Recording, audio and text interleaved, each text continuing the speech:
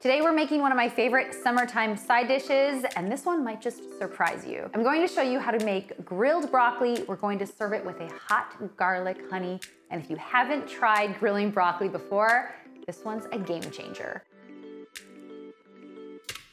Hi there, I'm Nikki Sizemore. Welcome to my kitchen. Welcome back to my channel.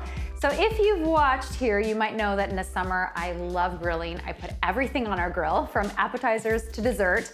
Few years ago, I tried grilling broccoli, instantly fell in love. The outside turns charred and crispy. The inside is tender, much like roasted broccoli, but you don't have any of the mess. So you could stop there and I'll show you how to do it, but we're gonna take it over the top and drizzle the broccoli with a chili and garlic infused honey that sweet, hot, garlicky honey is the perfect complement to that smoky, charred broccoli. If you feel inspired, don't forget to like and subscribe. Be sure to drop me a comment below. And as always, you can tag me on Instagram at From Scratch Fast. All right, let's dive in. The first thing we're going to do is prep that hot garlic honey. This is so simple. Put a quarter cup of honey into a small pot and add a sliced garlic clove and a slice, this is a red Fresno pepper. You could also go for a jalapeno pepper. And we're gonna just slice it and leave in the seeds and everything because we wanna give that honey a little kick.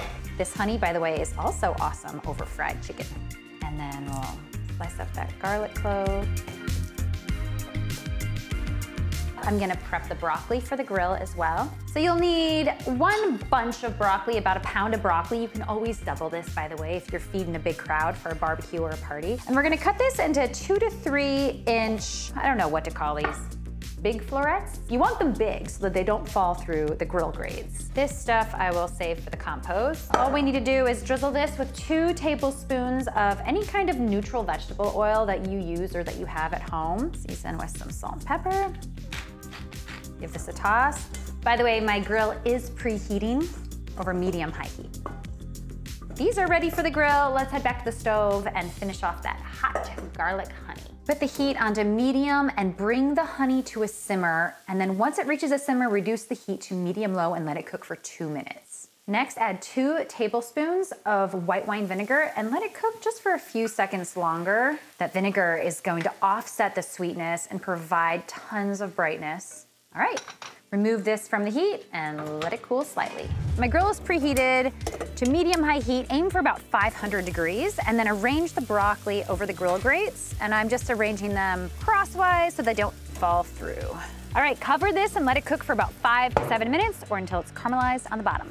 Oh yeah, that's what you're looking for, that nice char. That's gonna give the broccoli so much flavor. Close the lid and cook for four to six minutes longer. Don't be afraid of this char. I promise you, it's gonna taste absolutely delicious. Let's take this in. All right, now to finish this off, we're gonna drizzle this with that honey and with all of those peppers and garlic, which are now candied in that honey. And then sprinkle it with some coarse sea salt, some flaky sea salt. And that, my friends, is my favorite way to serve broccoli. All right, let's give it a taste. I wanna get one of those candied chilies in there. Mm. Oh my God. Oh, it's hot. that honey has so much flavor with the garlic and the chili. My eyes watering a little bit. I hope this becomes a staple at your summertime or anytime barbecues. I'm Nikki Sizemore. This is From Scratch Fast. Don't forget to like and subscribe, and I'll see you next time.